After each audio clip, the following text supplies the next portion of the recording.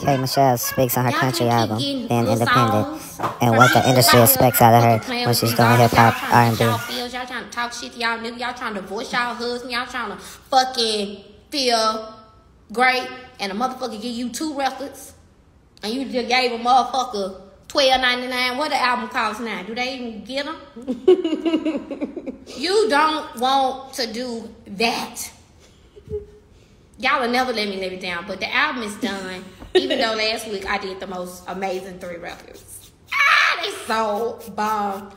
But um, yeah, I'm gonna get it out for y'all at tour time, and then months later, I'll be coming with my first is just me. All my thoughts, all my creative, everything out of my pocket, everything. And I am scared as fuck. but the beauty of being fully able to retrieve like all your money and stuff is you could just put out as many shits as you want. Mm-hmm. So I think my country album should be independent, and I think I should work my ass off as I've been doing. I don't have much more ass to work off; it's got chopped off. but I think that this the meaning of my life. I think my farm. I think my restaurants. I think just staying out the way, making money. Ooh, that one weak. I could feel it. It hurt. hmm I think that's what I'm supposed to be doing. We want some West Coast two days. I know, baby. I'm finna be out there. And then Detroit. Detroit, thank y'all so much legally.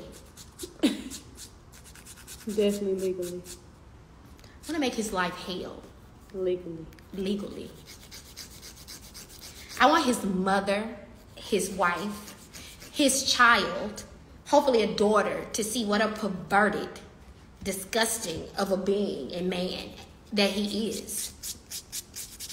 And I need somebody who could chop up the whole home video and put it on TikTok so we can see his face. And I'm gonna offer a monetary reward just so your family can know that you're sick and get you the help you need.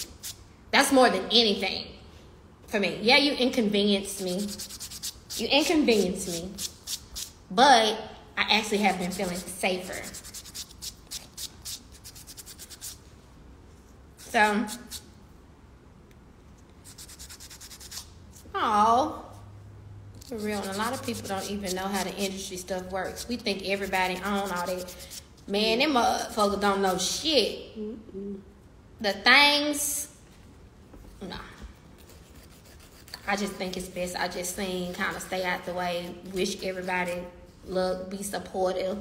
Let everybody you can, cause you can tell a person all day they never want to listen. Like I tell motherfucker about their body, about their butt, they don't want to listen. They still fucking in my face, going doing that shit. Okay, you you gonna be fucking round here, cause I can't I can't say it. Once I said it, the blood is off my hands. Once I told you, because I put you on the game and you don't take the game, I can't do shit to you, man. I got other shit going on. For self. William, you thank you.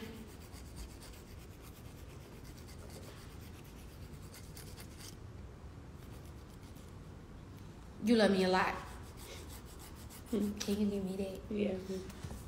Because you love me so much. Love you a lot. Oh! Big blue hoes, come with it. Eh, eh, eh. huh? Yeah. Like you know. Y'all cannot. So y'all do know why y'all be talking y'all shit. Y'all do know I got skin rosacea, right? The lady today was like, oh, your rosacea. I was like, honey, I'm so proud of that rosacea right now. Look. Look at it. I got I got all my little moles and